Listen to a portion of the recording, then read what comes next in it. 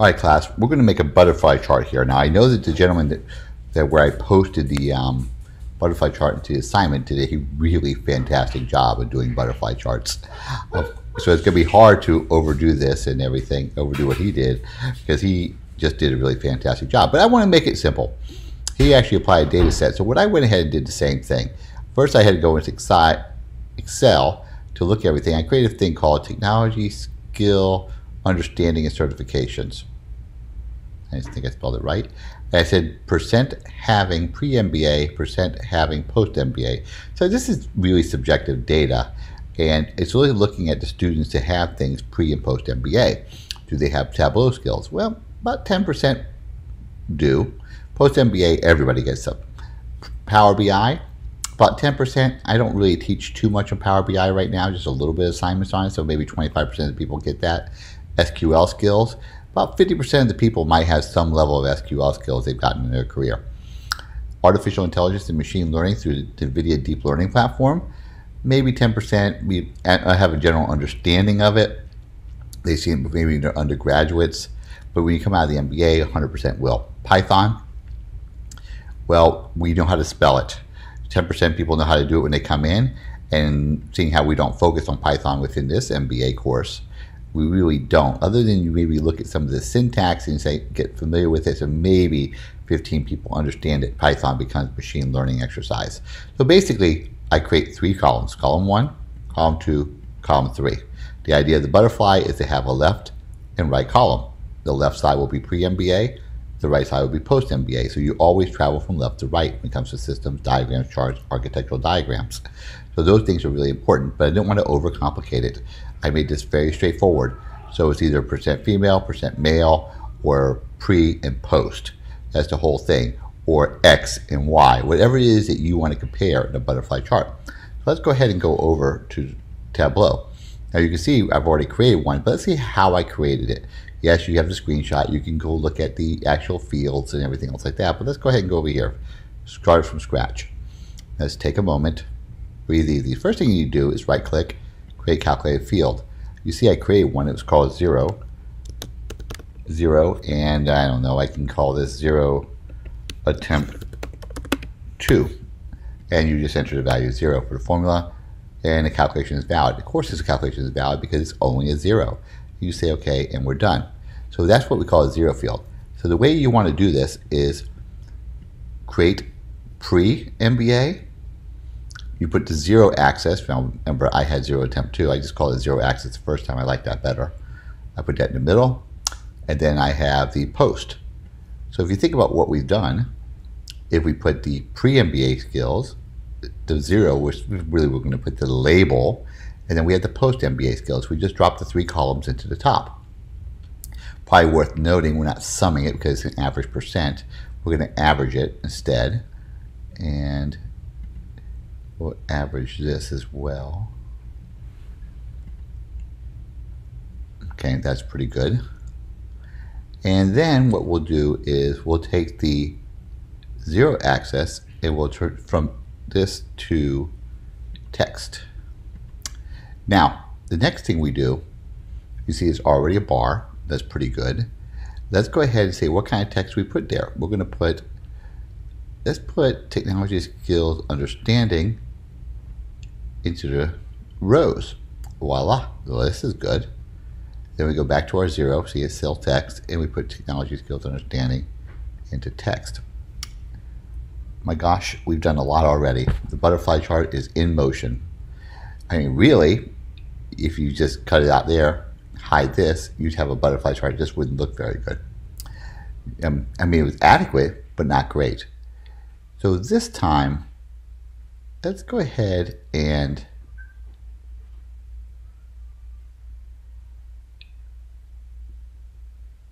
get rid of the header there. That way we're only dealing with one. Okay, so this is better.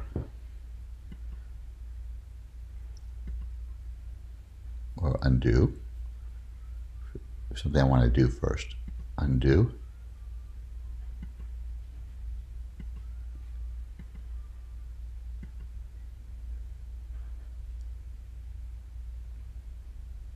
Is always tricky. Okay, we'll just do it here. We go here to this, and we'll say what we need to do now is we need to make it a dual axis. And that changes everything, right? As you can see, it turned everything into something else. Made it really kind of crazy. And you can see now it's the dual axis. You can come back and you can edit this dual axis a little bit more. Edit axis. So the first thing we can do in edit axis is we can reverse the order. We can synchronize dual accesses and we can synchronize the order. The next thing we can do is we can come back and we change this back to the bars. So here it went back to automatic. We change it to bar. Boom. And then we go to the second one and we change this to bar. Now they're both bars. That's not so bad. And you see I have the text here. These texts we can get rid of. Just say, say get rid of headers. Don't to see the header so we won't duplicate it. So now so far so good. I've synchronized it. I have the two things in the middle. There's a lot of white space here. There's the x-axis. Let's go back to edit the axis. Let's look at this again. So synchronize is on, reverse is on, fixed, go make this fixed to zero. And the ending of it, let's make that automatic. Everything else stayed in place. Shebang, hit that. It looks pretty good. Okay, well that's good. And now you can see we almost got the whole thing done. Look, it's all going there. But you notice there's no words on the other axes. So what we need to do is deal with that. The way we do deal with that, if we go out and put another zero axis, just copy the same member we created right there. And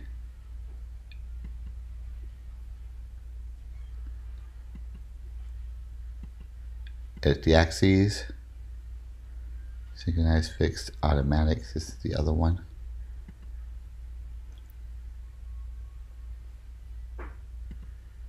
Zero axis, turn it to text.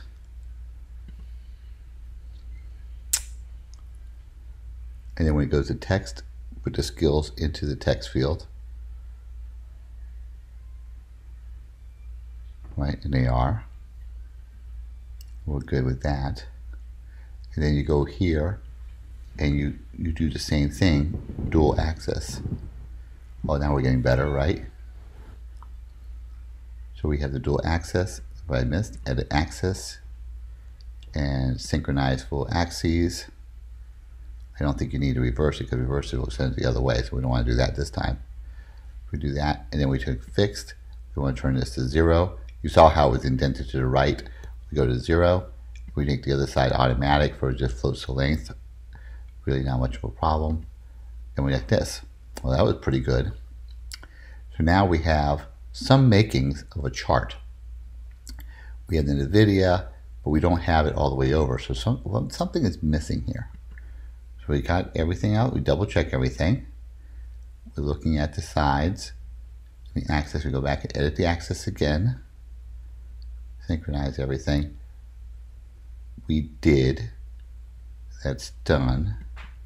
So then we go over here to the zero is set to text. Over here, that zero is set to text. This is set to bar. And the other average is set to bar as well. So we have our bars and everything. Oh, I know what we need to do. We need to change the colors. And we can change that either through here or we can go over here, access to. and you can hit the color and you can click on the square and you can get right into the color matrix. Oops. Right there. Okay apply. Boom so you have that all set. And now what we need to do all right resuming this video I had to pause for a second to make sure I caught what I was doing the only thing left you notice that we don't have the labels really synchronized across everything so then we just simply need to go to 02. And what I missed earlier was that the text, you know, we set it to text, but we didn't put the um, skills under the text. So then we do that, and voila, the skills pop up. We right click over here, and we say show header, header's gone. And then we give it a nice sheet name that makes sense. In skill development for MBAs. And now you have a butterfly chart. And um, you can see the growth of skills. You certainly have a lot more skills coming out of your MBA than when you first started your MBA. I think it was a very good exercise and it was a fun exercise. Remember, it's all about the data. And so keep the data simple, don't overthink it, and you should be just fine.